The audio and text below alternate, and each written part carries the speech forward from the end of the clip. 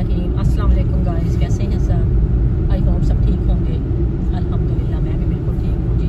आज वेदर देख लें यूके का बारिश हो रही है हल्की हल्की यहाँ पे तो मुझे नहीं लगता कि ठंड सारी गर्मियों में भी ठंड ख़त्म होगी।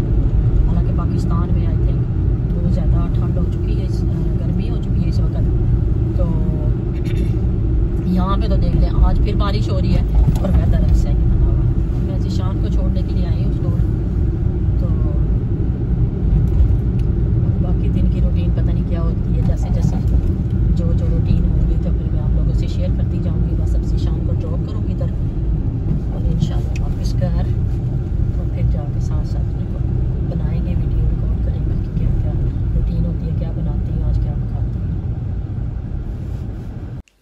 जी तो ये एक दिन पहले की है वीडियो जो मैंने बनाई थी, ये मैंने बनाए थे तो मैंने वीडियो भी रिकॉर्ड कर ली थी। तो ये मैंने बनाया था, यहाँ पर चिकन हाँ, टिक्का बोटी जो थी, वो बनाई थी। उसके लिए मैंने अदरक, लहसन ले लिया था और उसके अंदर सब्ज़ मिर्चें भी डाल ली थी और इनको मैंने ब्लेंडर में डाल के ब्लेंड कर लिया था। और अच्छी तरह सा, बीच में फिर साथ ही मैंने थोड़ी सी डाल दी थी। दो टेबलस्पून जो थे वो मैंने इसके अंदर डाली थी योगर्ट डाली थी और उनको अच्छी तरह मिक्स करके तो मैंने इसके ऊपर डाल दिया था चिकन के पीसीस के ऊपर और साथ ही मैंने ये देखें ड्राई कोरिएंडर लिया था थोड़ी सी मेथी ली थी, नमक लिया था फ़ूड कलर लिया था थोड़ा सा और चिकन टिक्का मसाला लिया था और साथ ही मैंने थोड़ी सी चाट मसाला लिया था। ये सारी चीज़ें डाल के मैंने इसके अंदर मिक्स कर दी थी और थोड़ा सा मैंने लेमन जूस भी डाला था। और ये सारा कुछ मैंने इसके अंदर डाल के मिक्स कर दिया था और उसके बाद मैंने इनको तो उसके बाद मैंने, क्योंकि इनको फ्राई पैन में बनाना था तो छोटी वाली जो मेरे पास ये सीखे सी पड़ी हुई थी, इनके ऊपर मैंने इनको लगा लिया था अच्छी तरह से सारों को। और फिर उसके बाद मैंने इनको फ्राई पैन में डाल के इस तरह रखा था कि मैंने पहले थोड़ी देर के लिए कवर किया था, इसको दो दफ़ा से साइड चेंज करके, उसको कवर करके बनाया था, ताकि कवर करने से ये होता है कि वो अच्छी तरह से गल जाता है, बिल्कुल। और जब दो सारे, दोनों तरफ़ से गल जाता है तो फिर उसको ढक्कन को उठा देना चाहिए, ताकि जो पानी वगैरह जो भी हो अंदर, वो सारा ड्राई हो जाए और और आप लोग बताएँ जी आजकल क्या हो रहा है, कैसे, क्योंकि सबकी ज़िंदगी अब नॉर्मल हो गई है पहले से, क्योंकि रमज़ान पूरा गुजर चुका है माशाल्लाह से अब। तो रमज़ान के बाद हमारे घर में तो सारे बच्चे भी कहते हैं, बड़े भी कहते हैं, हमारी तबीयत ख़राब हो रही है, तबीयत ख़राब हो रही है। तो बाद में मैंने एंड पे इसको ये देखे ग्रिल का थोड़ा सा टच दिया था और माशाल्लाह से बहुत ही नाइस बनी थी। ये देखें ग्रिल के ऊपर निशान भी पड़े हुए हैं। पाँच मिनट के लिए मैंने, क्योंकि फुली तैयार हो गया था, लेकिन सिर्फ़ मैंने पाँच मिनट के लिए उसका रखा था। एक तो वो ड्राई हो गया था, और एक माशाल्लाह से बहुत अच्छे उसके ऊपर वो, उसके निशान आ गए थे। और टेस्ट में तो वैसे ही माशाल्लाह से लाजवाब था। बहुत ही मज़े का बना था। आप लोग भी ज़रूर ट्राई करें, और मुझे बताएँ कि आप लोगों को मेरी रेसिपी कैसी लगी, और सारी वीडियो जो आप देख रहे हैं, वो आप लोगों को कैसी लगी। जी तो गाइस मैं अभी पार्क में आई हूँ। तो ये देखें यहाँ पे बच्चे खेल रहे हैं और साथ ही ये देखें यहाँ पर फन फेयर लगने वाला है। आई थिंक कल से स्टार्ट होगा फन फेयर क्योंकि काफ़ी इसकी, काफ़ी झूले वगैरह होते हैं तो जिसकी वजह से उन्हें सेटिंग करने में काफ़ी टाइम लग जाता है। दो तीन दिनों से ये कर रहे हैं सेटिंग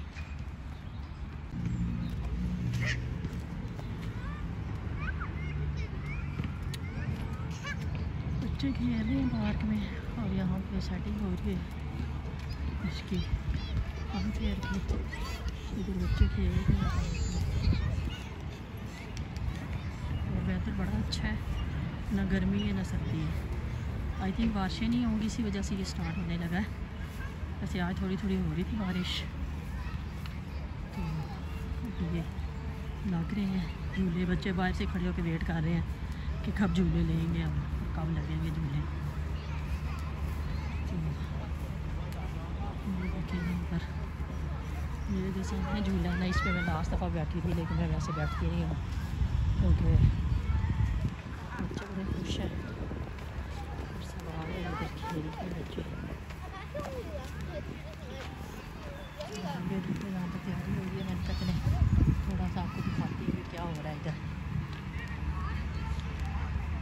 कल से स्टार्ट होगा ये। और कल से उसामा दिशान लोग तो माशाल्लाह कुछ बड़े भी हो गए हैं बहुत इन्होंने लिए हैं ये तो। पाल्टन टावर से भी ऊँचे इतने ख़तरनाक वहाँ पे झूले थे यकीन करें कि मैं कहती हूँ कि गर्दन ही टूटने वाली हो जाती है। लेकिन उन्होंने वो झूले भी ले चुके हैं ये। आएँगे कल वैसे इंजॉय करने के लिए शायद झूले भी बोले हैं थोड़े बहुत। तो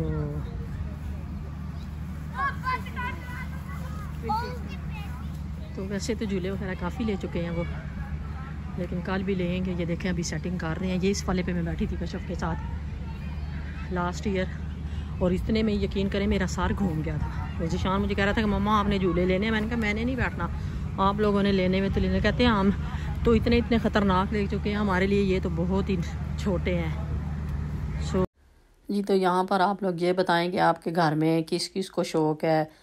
यानी कि वाइफ्स ये करती हैं या हस्बैंड ये करते हैं कि जो भी चीज़ लानी है बड़े बड़े पैकेट दो दो तीन तीन किलो के ले आने हैं और फिर वो ख़राब हो जाने हैं ओवर डेट हो जाने हैं और फिर वो बाहर फेंक देने हैं।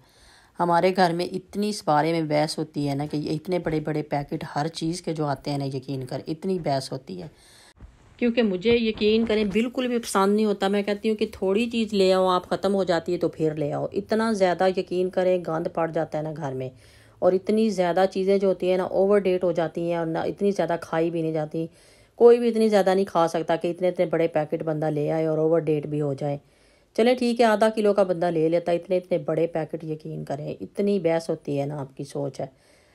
तो ये अब यहाँ पर कितने पैकेट वो हैं जिनकी डेट ओवर हो गई है? दो पैकेट यहाँ पर वो निकले थे जिनकी डेट ओवर हो गई है, वो तो चले गए हैं बिन में। और कुछ ये देखें, ये वाले भी हैं, चार मगज़ के दो बड़े बड़े पैकेट हैं, ये भी ऐसे ही। इतने इतने बड़े पड़े हुए हैं, ये पता नहीं कब खाने हैं और कब नहीं खाने अब तो वैसे ही समर आ गया और समर में तो इस तरह की चीज़ें वैसे ही नहीं खाई जाती। और आजकल तो मैं कहती हूँ कि हर बंदे का कोलेस्ट्रॉल इतना हाई है कि ये चीज़ें इनमें ज़ाहिर है ऑयल होता है और वो कोलेस्ट्रॉल को और भी हाई करती हैं ये सारी चीज़ें। आपने देखा होगा मेरी वीडियोस में कोई भी ग्रोसरी की, मैंने कभी बहुत ही कम ग्रोसरी की मैं वीडियो बनाती हूँ, क्योंकि मैं ग्रोसरी मंगवाती इतनी हूँ जितनी ज़रूरत होती है।